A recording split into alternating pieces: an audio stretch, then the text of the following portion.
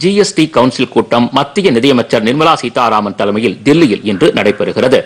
Corona பரவல் காரணமாக GST council கூட்டங்கள் காணொலி காட்சி மூலம் நடைபெற்று வந்த நிலையில் இன்று நேரில் நடைபெறுகிறது. நிர்மலா சீதாராமன் தலைமையில் நடைபெறும் இந்த கூட்டத்தில் மாநில நிதியமைச்சர்கள் கலந்து கொள்கின்றனர். அப்போது மாநிலங்களுக்கான ஜிஎஸ்டி நிலுவைத் தொகையை வழங்குவது வரி சீர்திருத்தம் உள்ளிட்ட விஷயங்கள் குறித்து விவாதிக்கப்படும் என்று தகவல்கள் தெரிவிக்கின்றன. குறிப்பிட்ட சில பொருட்கள் மீதான ஜிஎஸ்டி வரி விகிதத்தை மாற்றி அமைப்பது தொடர்பாக அமைச்சர்கள் குழு இன்று அறிக்கை அளிக்கிறது. இதுகுறித்து கூட்டத்தில் விவாதிக்கப்படுகிறது. முன்னதாக நிர்மலா சீதாராமன் தலைமையில் பட்ஜெட்டுக்கு முந்தைய ஆலோசனை கூட்டம் நேற்று நடைபெற்றது. இதில் மாநில நிதியமைச்சர்கள் கலந்து கொண்டு பட்ஜெட்டில் இடம்பெற வேண்டிய அம்சங்கள் குறித்து எடுத்துரைத்தனர்.